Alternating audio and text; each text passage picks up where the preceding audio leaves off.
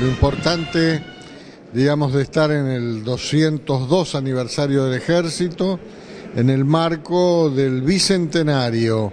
de lo que es el primer izamiento del pabellón nacional, el bicentenario de la batalla de Tucumán, del éxodo jujeño,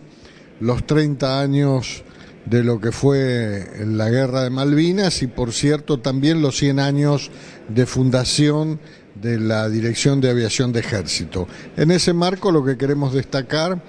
de la gente, de los hombres y mujeres del ejército argentino, es la tarea realizada en el curso del año y por cierto la invocación a que sigan esforzándose para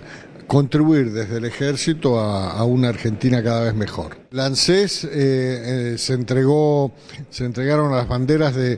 todas las unidades que del ejército que participaron en Malvinas, una plaqueta con motivo de los 30 años y después el ANSES hizo un reconocimiento a la participación del ejército en la gesta de Malvinas y por cierto entregó también un presente. Yo diría que hoy tenemos uno de los ejércitos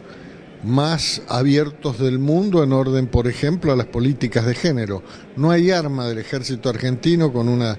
decisión de nuestra presidenta que nosotros pusimos en, marcha el año pasado, no hay arma del ejército argentino que no pueda participar una mujer que sienta inclinación por la misma. Y por otro lado también eh, estamos en un plan de modificación de las estructuras de formación de nuestros hombres y mujeres de armas de manera tal de hacerlas más compatibles con el sistema de educación nacional, cualificar las capacidades de nuestro ejército frente a lo que son los requerimientos y las demandas